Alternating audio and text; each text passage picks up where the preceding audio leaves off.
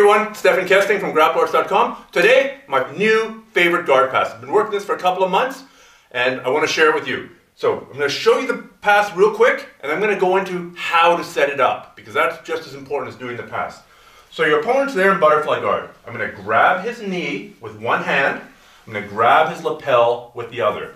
Then simultaneously, I'm going to do three things. I'm going to punch, I'm going to pull with my hand, and I'm going to back kick with my leg. It's like a kung fu movie where you're punching, knocking somebody out in front, and knocking somebody out in back. So one, two, three. There. Now, I'm going to use those hands and pull myself in nice and tight because there's a big distance. So Richie, if you could come here, please. Same pass, different angle. One hand on the lapel, one hand on the knee, simultaneously punch, pull, and kick. Punch, pull, kick. One, two, three. There. Then I'm going to pull myself in. Bring my knees up nice and tight to his body. So what makes this pass work? Fundamentally, the hand here and the hand here allow me to turn Richie. So if I'm way back here, I can turn him like a top. The trouble is, if he's in butterfly guard, he's going to be hooking with the leg here. That's why I need to back kick.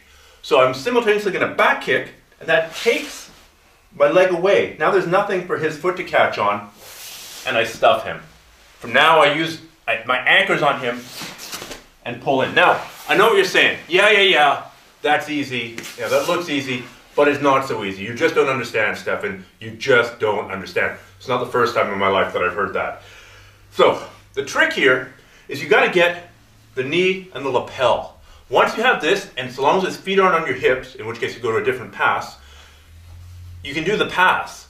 But if you do this, he knows it's coming. He's going to react. He's going to put his foot on your hip. He's going to strip grips. He's going to switch to a different kind of guard, and life just got hard again.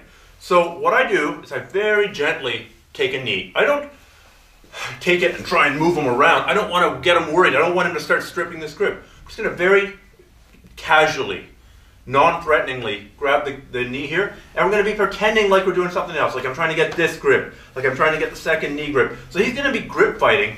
The only thing I'm waiting for is my opportunity to pounce on the lapel. So if I've got the knee, I distract him, I might be controlling his wrist here. As soon as I get the lapel, I go. Or, alternately, I grab the lapel very, very loosely. Here, Again, I'm not pushing them, I'm not pulling them, I'm not trying to set up some kind of collar choke. I just grab it, maybe not even very uh, solidly. I don't want to give it away. We're here. Now with this hand, I might be going for something else. I might be trying to pull his head down. I might be grabbing his wrist and he's trying to get rid of the grab there.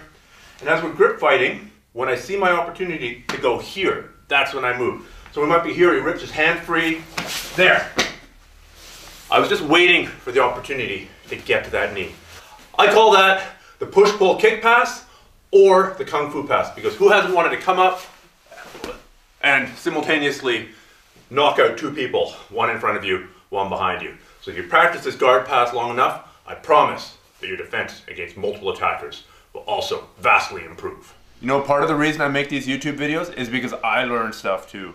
As I was sitting here editing it for you, and yes, I do my own editing, I realized that the punch pull kick pass or the kung fu pass is actually very, very similar to what some people call the X pass and what Emily Kwok called the standing step pass in the volume two of the How to Defeat the Bigger, Stronger Opponent uh, instructional set that we did together. So let me show you. That same idea with the grip breaking, I'm moving in two different directions, so I'm creating more momentum and more force.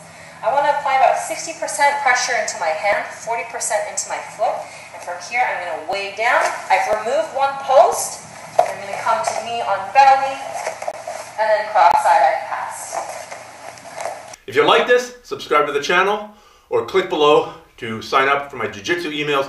I send out some of my very best Jiu-Jitsu training tips by email, and you can get them all for free.